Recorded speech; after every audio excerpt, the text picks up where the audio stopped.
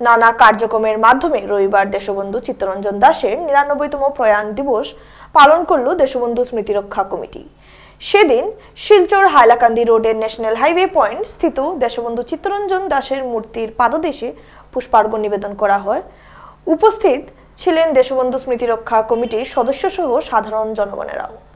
বক্তব্যে প্রাক্তন পৌর কমিশনার সাধন পুরখাইস্ত বলেন বিশ্ববরণ্যে নেতা দেশবন্ধু চিত্তরঞ্জন দাস হলেন একজন বাঙালি আইনজীবী, রাজনীতিবিদ, স্বাধীনতা সংগ্রামী, কবি ও লেখক। তিনি স্বরাজ্য পার্টির প্রতিষ্ঠাতা। তার সময়ের অন্যতম বৃহৎ অঙ্কের আয় অর্জনকারী উকিল হওয়া সত্ত্বেও তিনি তার সম্পদ অকাতের সাহায্যে প্রার্থীদের কাছে বিলিয়ে দিয়ে বাংলার ইতিহাসে দানবীর হিসাবে সুপরিচিত হয়ে আছেন।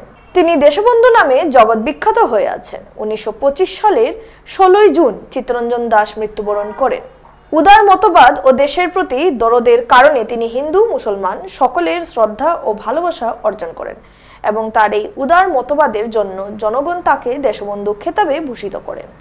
শ্যামলকান্তি দেব বলেন, পরাধীন ভারতে বাংলার অন্যতম শ্রেষ্ঠ প্রগতিশীল রাজনৈতিক নেতা হলেন দেশবন্ধু চিত্তরঞ্জন দাস। নারী শিক্ষা ও বিধবা বিবাহ নিয়েও তিনি একাধিক কাজ করেন।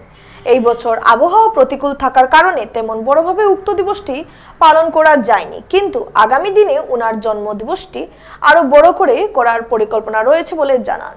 সেদিন অন্যান্যদের মধ্যে বক্তব্য রাখেন নিহার রঞ্জন পাল, বিরিশ ব্যানার্জি রসরাজ দাস এবং উপস্থিত ছিলেন নিহার পুরকাইস্ত প্রাক্তন পৌর কমিশনার গোপাল রায়, শিলচর পৌরসভার পক্ষ থেকে সৌরভ দেব, নিলয় দত্ত, পুলক সোম, সমর পাল, আজমল হোসেন চৌধুরী, কবি লেখক শতদল আচার্য তপময় পুরখাইস্ত সহ আরও অন্যান্যরা।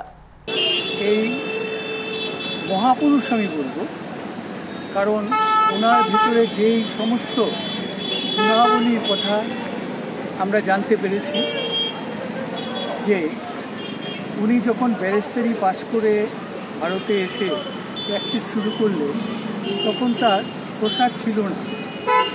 কিছুক্ষণ আগে সাধনদা বলেছেন যে উনি ব্যারিস্টার ছিলেন এবং সার্থক ব্যারিস্টার ছিলেন। ওই সময় পৃথিবীতে যত ব্যারিস্টার ছিল, তাদের কারোরই এই তখন ইয়ের মতো, আমাদের চিত্তরঞ্জন দাসের মতো ইনকাম ছিল না। প্রচুর ইনকাম করতেন। বাহু মানে বিলাসও ছিল তার।